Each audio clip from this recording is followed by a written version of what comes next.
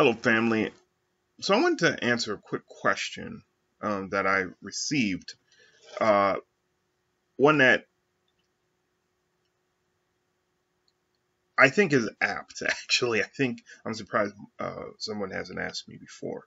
Um, I was approached by somebody who actually watched one of my videos, and um, it wasn't on YouTube, but they asked me you know, why do I rely on Bobby Hemmitt so much? And or should I say not rely, but why do I reference Bobby Hemmitt so much when he's not necessarily a reliable source?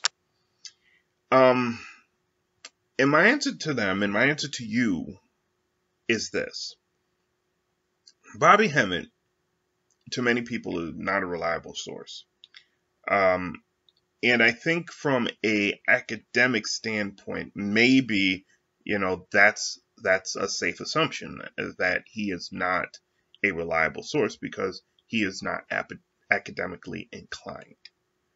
But the reason why I reference him so much um, is because one, Bobby Hemmitt has a knack of saying things that are fundamentally, fundamentally, fundamentally true. Meaning, when you get down to the root of the uh, of all the information that you can get to the um, root of, those truths hold up. That which remains obviously has to be the truth. And he has a knack of doing that. Secondly, Bobby Hemmitt, for all of his failings, cannot be cannot be called an idiot. The guy actually is well enough read. I don't want to say well read because you know even he admits he doesn't read all the books um, that he has. He he he researches, which a lot of people do that, but um, he has the knowledge enough to make the type of statements which he makes. Now, are some of the statements that he makes um, going to always be correct? No, not everybody. People aren't right 100% of the time. Um, and some of the things that he says, yeah, you know, even I look at him and go, eh, that might be just a little bit, you know, too much. But what I always have to remind myself, and what I reminded this person because they were not um, a particular fan of Mr. Hemmitt, is that Bobby Hemmitt, people like Bobby Hemmitt, Phil Valentine, um, what is it, uh, C. Freeman L, and the like, these guys were talking about a lot of things that today we take for granted as truths and as you know, assumptions of being true. They were talking about these things in the 1990s and in the 1980s when they had to look like they were absolutely drug crazed lunatics. I mean,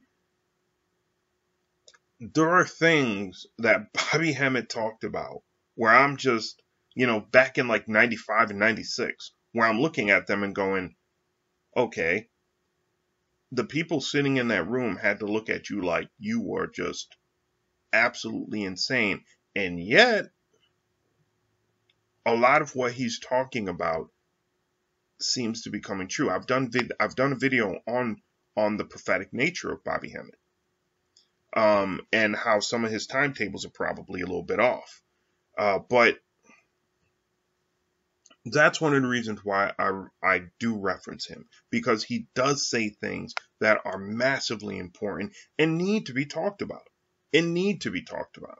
Not everything he says is a gold mine, but a lot of what he says is really, really good. You have to, you know, with Bobby Hemmitt, because he was really like a people's type of a scholar where he, he, he talked in, um, not in jargon, but he talked in um, ordinary language, you have to be able to take that ordinary language and synthesize it to understand what he's trying to tell you.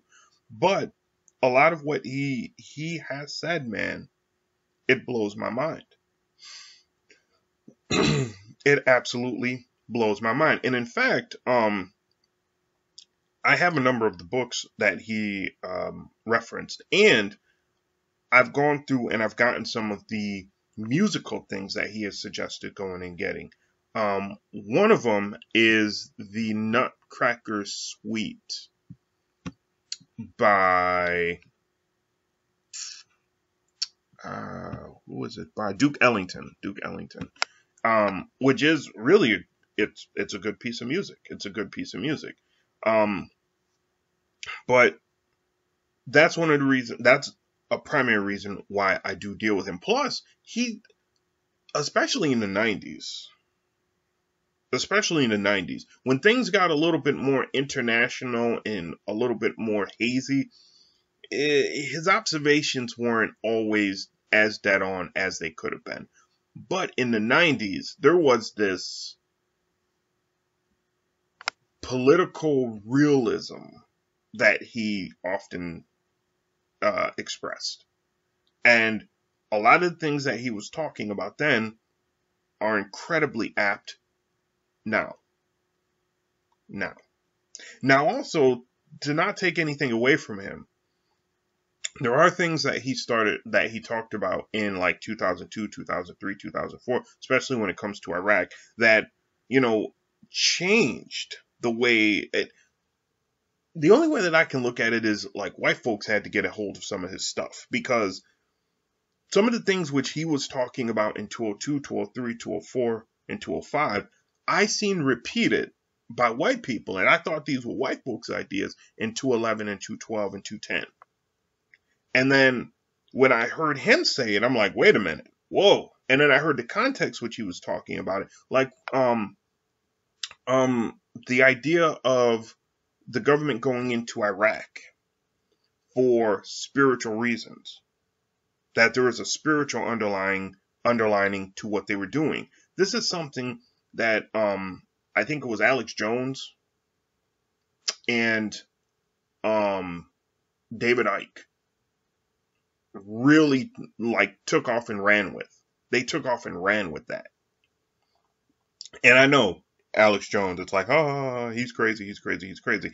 Uh, Alex Jones is probably a con man, but even con men tell the truth sometimes. Sometime, not all the time, sometimes. They gotta have some truth in there to make themselves believable. But, but, because, yeah, I just thought about that. I'm like, wait a minute, they're probably looking at me like, did you just use Alex Jones for a reference? Yeah, I'm not a follower of Alex Jones, by the way. But, um, the, those, those type of statements, I have, I've even seen repeated by, by lesser known people.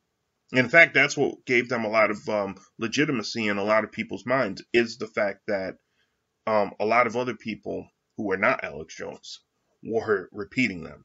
So, you know, and actually, um, Phil Valentine mentioned that in one of his videos where he stated that uh, there was this white dude who started shooting other white people, and when uh, after I think they killed him, I'm pretty confident they killed him.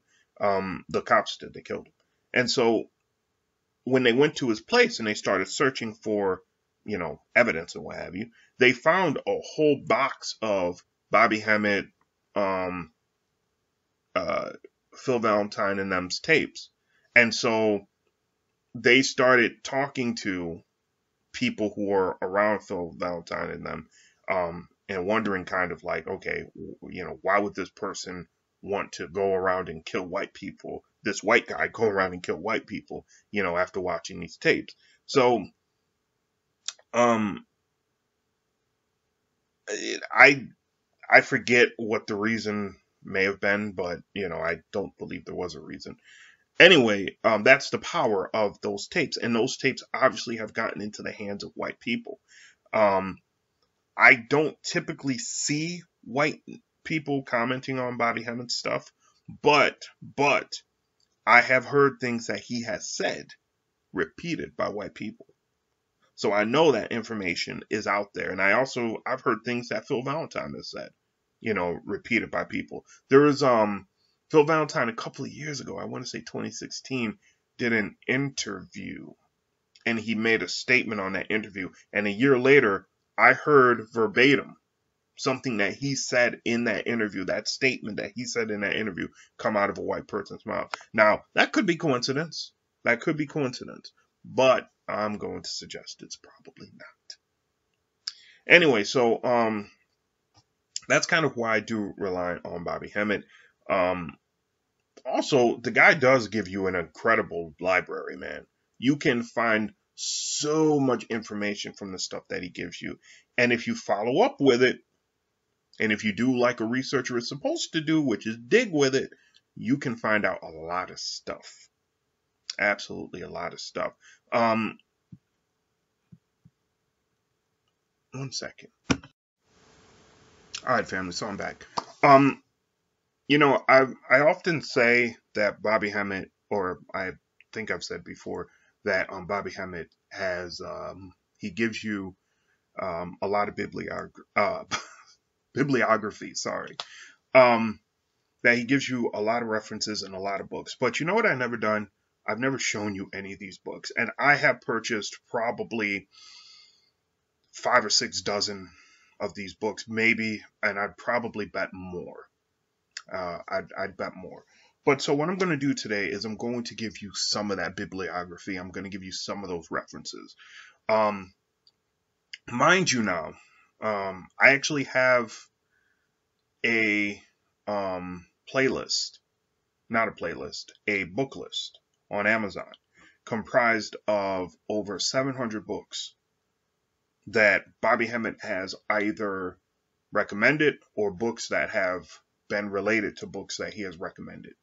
Um, and he has he's given he's he's say what you want to about the man. He gives you a lot of information and a lot of books. I just wish he referenced um, and cited his work a little bit better. That's the only thing. Only thing. Anyway, so I have a number of books right here that um I'm going to show you now. And I'm going to save that one because that's one of my favorites. Um, this is a book that I actually bought before I saw Bobby Hemmitt um, mention it. Uh, and I read this actually before I heard, you know, him mention it. I think I heard him mention it in like 2015, I want to say. It might have been 2014, but I bought it before that actually. So this is a good book. Shamanic Wisdom of Egypt by Nicki Scully and Linda Star Wolf. There you go. Okay. Um, as you can tell, I have markers in here. Uh, it, it'll this this is a powerful book. So we'll start off with something powerful. This is a powerful book, um, especially for people who want to do some meditations and stuff, um, and work on the mind um, with an Egyptian flair. This is a good book. All right, so that's number one. Number two, this book, if I'm not mistaken, he mentioned this. I got this in 2016. It's called The Dreaming Universe. I haven't utilized this one as much as I wish I had. Um, it is by a guy named Fred Alan Wolf, PhD. Fred Alan Wolf. There you go. That's his name. That's the name of the book. Haven't utilized that one as much as I thought I would. Um, save that one. This, um, for black people, you may feel a little bit off with this one, but there is still really good information in here which can be utilized. It's called the Pagan Book of Days. The Pagan Book of Days. And um, there's his name, Nigel. Nigel Pennick. Um, that it's it's a decent book. This is one that I don't really use much, but um, it was interesting when I first got it. It it teaches you a lot about paganism and their festivals throughout the year. Um, this is one that he used to mention a lot, and it took me a while to actually find a really good copy of this one that I really liked. Um, it is by I.K. Taimni. T A I M N I. Um, man, God, and the universe. Man, God, and the universe. All right. So um, he used to mention this one a lot, and um, this is another one that I thought I'd be using a lot more, and I just haven't. This one I actually got, and I don't believe he mentioned it, but I'm going to give it to you nonetheless because spirit is there. There you go.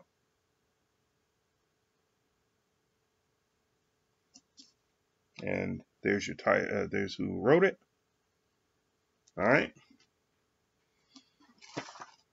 It's a really good book, actually. Um, thorough, man.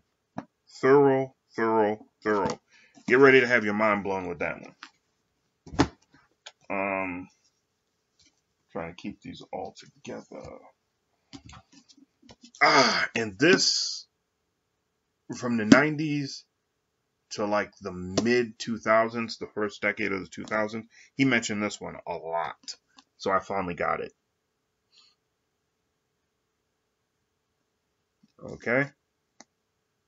And just to let you know, this one is very interesting. Um, this one is very interesting. Uh, it you got to really have an open mind to deal with this one, to really, because it makes it presents some information like you know uh, one of the first couple of books in here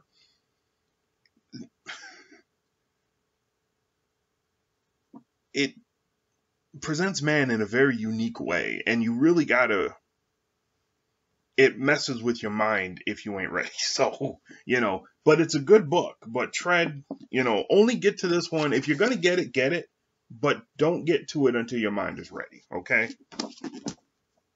Um, this is the one that I was saving because this is a book that he said actually kind of it, it changed his whole life. Um, you remember not too long ago, um, Kanye West was running around talking about Donald Trump had dragon energy and that he had dragon energy. Well, people who have studied Bobby Hemmitt knows that Bobby Hemmitt had a series of um, uh, lectures where he dealt with dragon energy. He was actually talking about dragon energy. And I can't recall if Sirius Times put the videos out. Pri- I want to say they put it out prior to Kanye West. One of them was called Dragon Time, I think, and the other one I can't remember what the other one was called. But anyway, um, it, it spoke a lot about this energy, and it was very intriguing. And I think in one of those, in one of them, he mentioned this book, and I went out and I got it, and it's it is what it says it is, man. This is a book that will this will put something on you. I, am not even joking. It's a powerful book, but the cool thing is, it's not one that's going to play with your mind or that it's going to take your mind to open up. This is a book for the heart. Love is a fire. That's the name of the book. Love is a fire.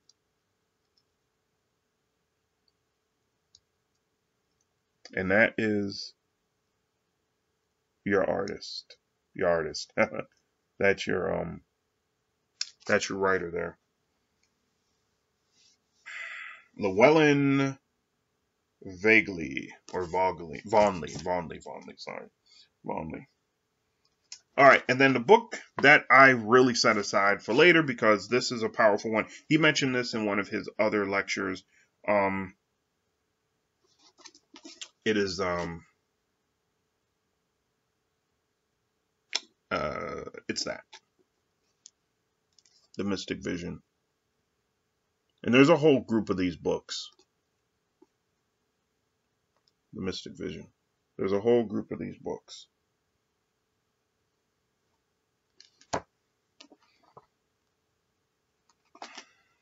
This deals with a lot of different things so you know kind of uh be ready. Be ready. So that's that that's that's that I got more.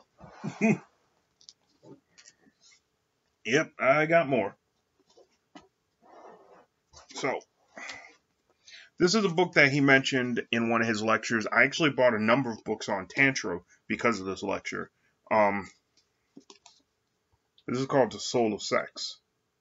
And if I had thought about it, I would have got the one Tantra book on sex because it's really a good book. And in fact, that book, which I don't know where it is at this moment.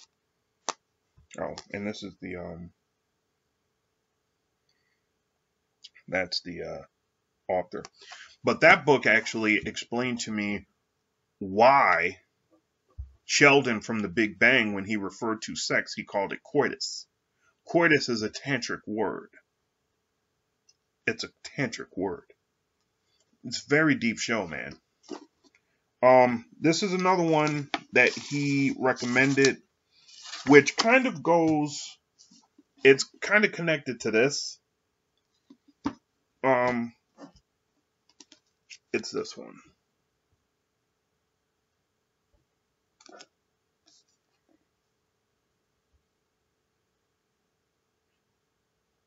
Okay. Robert J. Miller. It is uh it's quite interesting. It's quite interesting. So that's two. This is another one that he mentioned and hmm,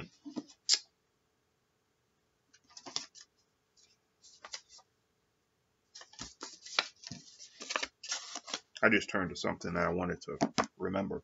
Um, this is another one, and this is one that's really, this one is powerful. Um, it is called Eastern Body, Western Mind, and I can't. I think I discovered this one in 2016 also. Um, but it really is something. It, man. So that one, get that one. I mean, get that one.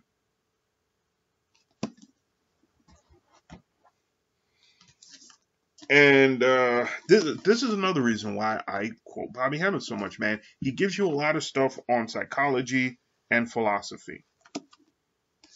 That one, parallel myths, parallel myths. Okay. Um, I'll save that. This one, I uh, can't really give you that one. Anyway, um, this is another one that he.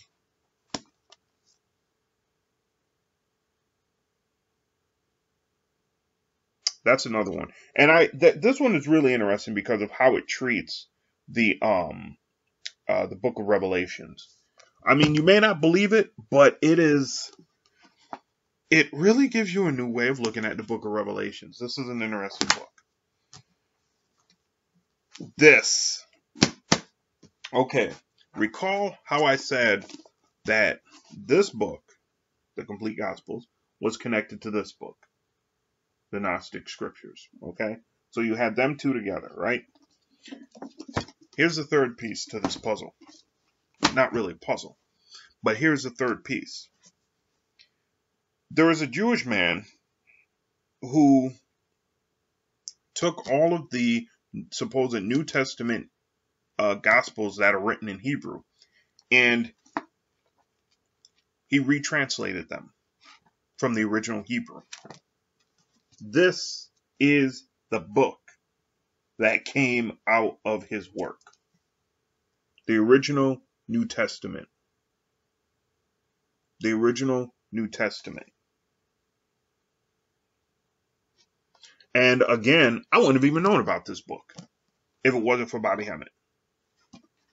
If it was not, you know, for Bobby Hemmitt.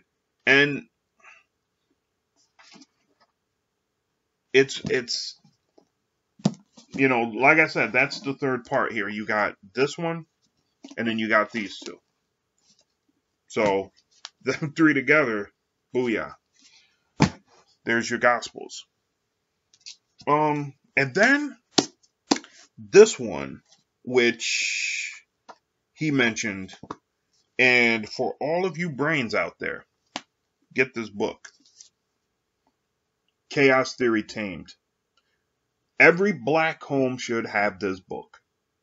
To be honest with you, most of the books that I presented today, every black home should have, but this one particularly, your children, oh, sorry, your children should be learning this. Your children, when they are eight and seven and six, should be learning this. And they should be learning it because I'm going to get his name wrong, so I'm, I can not even say his name. It was an African who developed the grand unified theorem. Not theory, theorem. The difference between a theory and theorem, thank you to um, uh, Philippe Shock Matthews for this. The difference between a theory and a theorem is a theory has not yet been proved. A theorem, a theorem has been. A theorem has been. So, you know, it was an African who did that. We need to be studying this. And there was another book that I was looking for that I couldn't find, but I might leave for a minute and see if I can find it. Um, another book that Bobby Hemmitt ironically didn't talk about, but it's actually well known among UFO um, uh, groups, and that is called The Lines on the Landscape. The Lines on the Landscape. Okay? And there's your there's your writers. Now the book that I said that I couldn't show you um,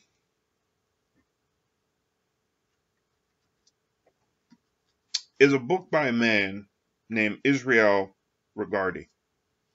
And the ancestors are telling me to go ahead and do it. That it is um it's time. Because it is open, it's free, people can go and they can find it, so why not show it? Um that's the book. That's the book. Okay? All right. Let me go and quickly see if I can find this other book because this is another important one. Okay, so I was actually able to find it.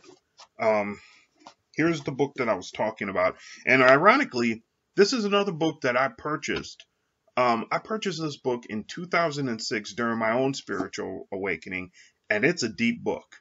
It is a deep, absolutely mind stunningly deep book. It is scientific. And this is another one, truthfully, that all black families, you know, I should do a video about that. Books that black families should have in their in their possession. Um, but this is another book that like all black families, black children should know this book by the time they're 10. And you're going to, you know, those of you who read this book, you're going to go, what? By t- what? But seriously, this is the level this is the level of intelligence that our kids do have. This is the level. I listened to a guy, um, his channel is Ancestral Productions. And from listening to what he's been saying for the last three or four years, um, I discovered him in 2016. Um, I became a real big fan of his, um, basically from the moment that I heard his uh, videos. Uh, from listening to what he's saying, he really matches up to what I feel and what I have found with black people. Particularly, there's a book that I mentioned in one of my other videos um, black, uh, about black children and their culture. Don't have it here, wish I did. But um, we we have an incredibly deep mind. We just don't tap into it most of the time. So here's the book. It is called The Holographic Universe. And again, it's it's a mind blower. It is. You're you're going to learn a lot about um physics, you're going to learn a lot about science, you're going to learn a lot about a lot of things. And you have to be ready to do your work with it. But it will reward you. This is why I say children should be taught this because they have the time and the mind to conceptualize what this actually means. I think sometimes if I had been, you know, this book, I think this came out in 99. But if I was taught this in my 20s, which, like I said, I got this, I was like in my mid 20s when I got this book. Um, but if this was the underpinning of my of of a lot of my educational basis, the way that my mind would have worked. And I know you're thinking like, well, wait a minute, you got it in your mid 20s, but I didn't study it like I should have. It's a great book though. Um, and then uh, one more book that I found that I got to share with you. Again, um, 2014, Bobby Hemmitt mentioned this in a, I was watching one of his lectures online, And what was so amazing about this book is um, when when the X Files came back, and it's it's so incredible how it worked. 2016, when the X Files came back, a friend of mine at work was talking to me, and I mentioned that I love the X Files, and he said, "Oh, so I guess you're going to be watching the reboot." And I go, "Huh? Didn't even hear about it." So when it came back, they actually had a story, and oh, I'm going to rant for just a minute after this point. I'm going to make it short. Um, they had a story which dealt with this type of energy. And the clueless, supposedly fans of X Files stopped Chris Carter, who is the creator of the X Files, from, you know, they criticized him into changing the structure of the second season of of the X File reboot. And that is, by all accounts, what killed the show. Um, at least presently. If they had let him keep going with, uh, you know, the way in which he was going, which was incredible, man, there was so much metaphysical information in it, it would have worked a lot better. Anyway, the book that I'm talking about is that. This is another one that especially young people would like.